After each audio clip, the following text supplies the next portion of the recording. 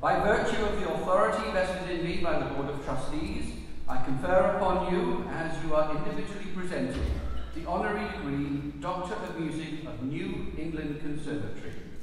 The hood with which you will be invested and the diploma which I will place in your hands are the visible symbols of your membership in this society of scholars, the rights, privileges, and responsibilities of which I declare you entitled.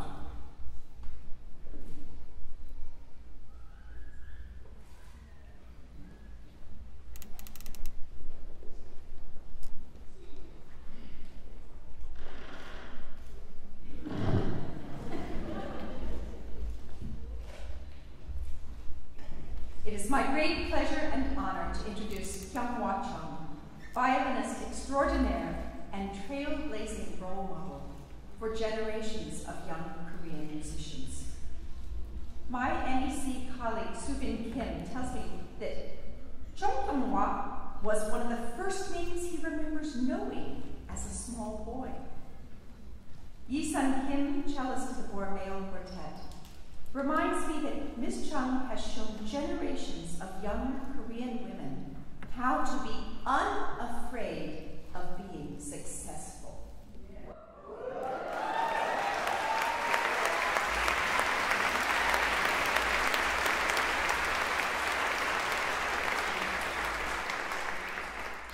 I remember seeing her first from a distance when I was a little kid at Meadowmount, the well-known summer camp for violinists.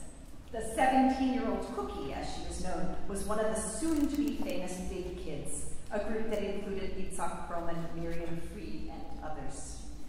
Just two years later, she burst onto the international scene with poised and electrifying performances that brought her competition prizes and very soon a full schedule of concerts with major orchestras, leading in due course to the recordings that have spread her artistry around the world.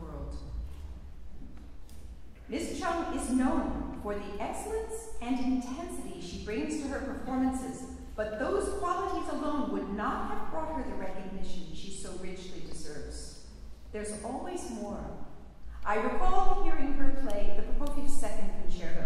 I thought I knew the work, but during this performance, Ms. Chung showed the structure of Prokofiev's music with startling three-dimensional clarity and the piece came alive to me as never before. In Korea, Miss Chung is a national cultural treasure. For people everywhere who love music, she is a human treasure.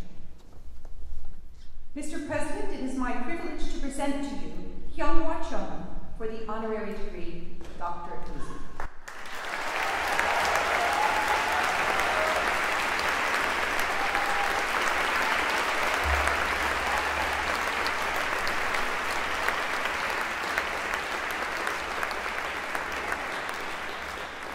Kyung-Wha Chung, celebrated violinist, Celebrated violinist renowned for her intense, individual, and brilliant interpretations with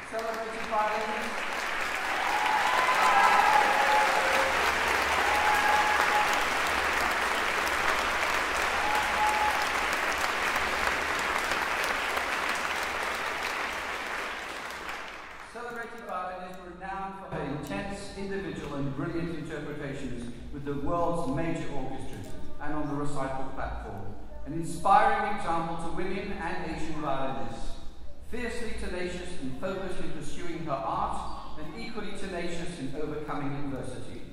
Possessed of a resolutely positive attitude, she is devoting herself to raising a family, to teaching, to charitable causes, and, happily for us, to the recent renaissance of her performing career. Chung.